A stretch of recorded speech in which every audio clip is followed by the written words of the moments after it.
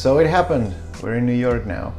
It was a really sad experience to leave Hastings behind because we really, really love Hastings. I really enjoy this city. It was a place I was not planning to know. we just moved there almost by chance. Uh, in, a, in, a, pretty random way, and it, it's a place we love dearly. And I, I, really, for a while, really thought I would stay there. Um, but then this opportunity to move here to New York appeared, and we just it was it was foolish not to follow it. So here we are. Um, it's not the first time we move out of countries. As you know, I'm from Chile. Uh, we moved to Germany first, uh, to Cologne, then we moved to Berlin, then we moved to uh, London, then to Hastings, now to New York. So there's there's this constant feeling of uh, being on the move. I mean, right now we're gonna stay here and hopefully stay for a longer time. Hopefully, at least six or seven years. So that's that's the plan. Every time you move from one house to the other, it's kind of rough. But moving from one country to the other is way more extreme. Uh, and not only in terms of emotionally and leaving your friends behind or the things that you're accustomed to, it's also really uh, intense on, for us at least, people who collect cameras or are interested in uh, film cameras especially it's hard to leave some of your stuff behind or start selling some of your stuff because it's stuff that takes a while to find collect or uh, I, I, don't consider myself a camera collector but i do consider myself someone who enjoys using certain cameras and finding the right tool for the right job and whatnot. Um, so it was hard to let some of that stuff go. And in the process of letting some of the cameras go and just downsizing everything i had to put all the cameras that I own into one uh, bag, one carry-on bag. It was an extreme task, but it was doable. So all the cameras, all the filters, all the chargers, because I still have the Leica M8, which is digital and it needs batteries. I still have this, which is the uh, Canon EOS M, and the I have a small monitor over there, so those two also need batteries and chargers.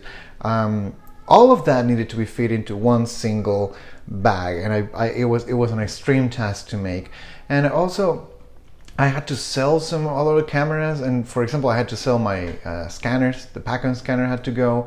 Uh, I had to leave the Epson scanner behind. So it's it's like starting all over again in, in those regards.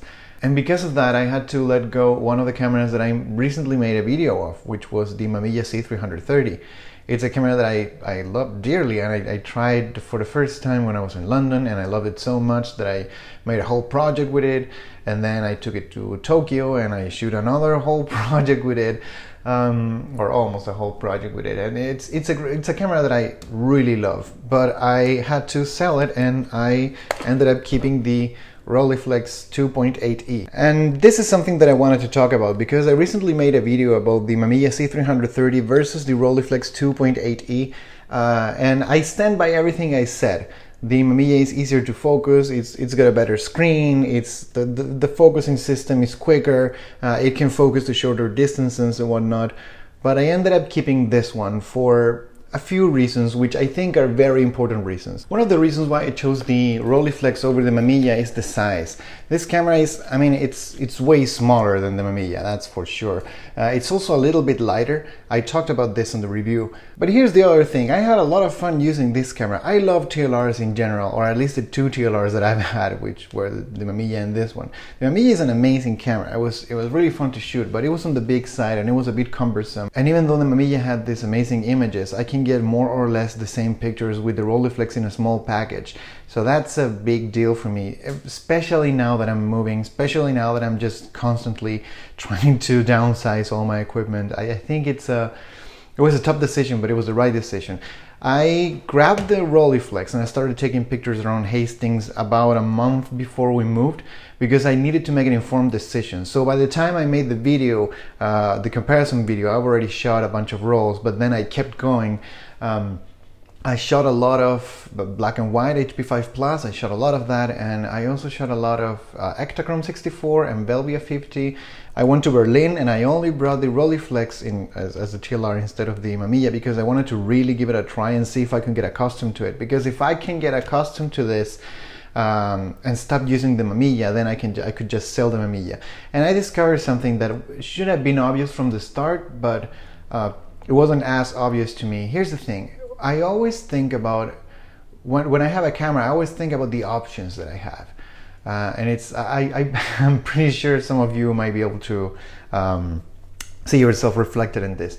When I have a camera, I think about not only what it has, but the potentials of what I can eventually do with the camera. And the Mamiya C330 has the potential of interchangeable lenses. So you can use the 80 millimeter and then if you don't feel like it, you can change to 105 uh, or so. Um, you can switch and, and, and, and, use other lenses. The issue is I had two lenses. I had the 80 millimeter and I, I had the 135, 105, I don't even remember. And, and the reason why I don't even remember is because I tried only once and I didn't like it. It was, it felt like, um, it felt like a cumbersome 80 millimeter on 35 millimeters.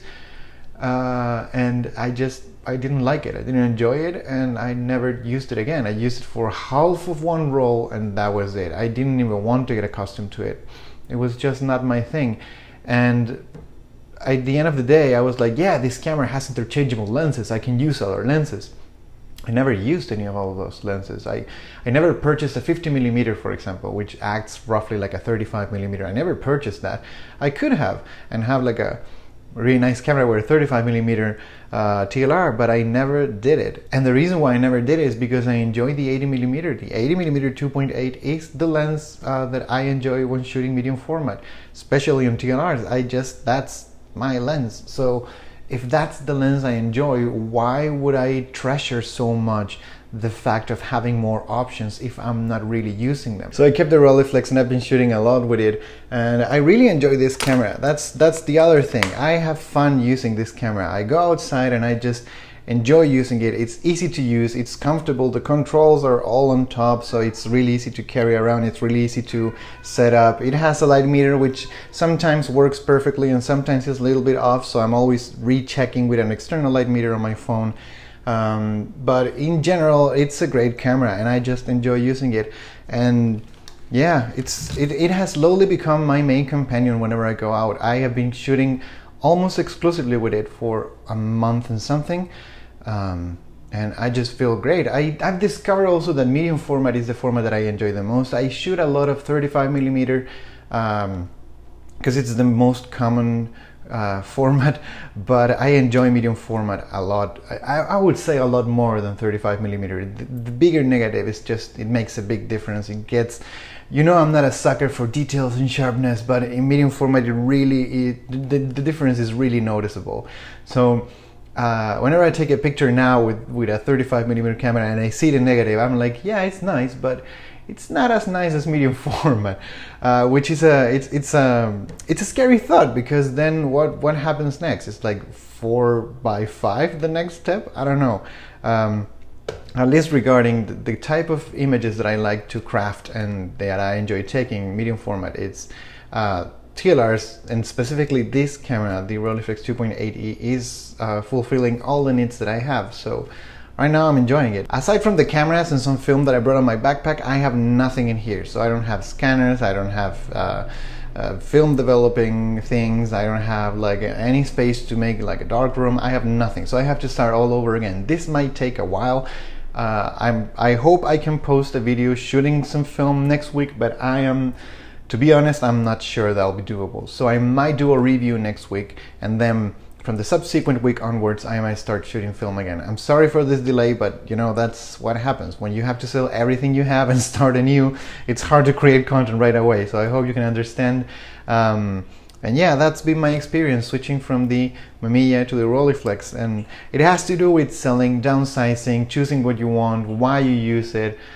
I don't know. It's been a, it's been a weird ride. I was not expecting this to be honest. I was expecting to use the Rolleiflex for a while and then decide it was not for me and just sell it, cash in the money and use it for something else, but it was not the case. I sold the Mamiya to one of my patrons, so that has me excited and happy, so it will find a nice home and it will be taken care of, so that's good. I'm, I'm really happy about that. Also, before I leave, I want to give a big shout to my patrons because they're funding the channel and they help me tremendously, so thanks to them, I can uh, repurchase everything that I need to start all over and just start uh, developing film and scanning it and whatnot. So thanks a lot, patrons. If you want to buy a zine uh, with images that I've taken with the oh man, it got really dark. Alright, that's better. In case you want to purchase a zine with the images I took with the Mamiya C330 in, in Tokyo and in Hastings, I have two zines. One is called Several Hours Ahead and the other one is called A Period of Strangers. They're both for sale on my Etsy shop. So just follow the link in the description and there you can find the zines. And yeah, they'll be shipped from the UK to where you are directly. Uh, and I hope you enjoy them. Thanks a lot for sticking by and I will see you next week with another episode. And until then, just keep shooting, guys.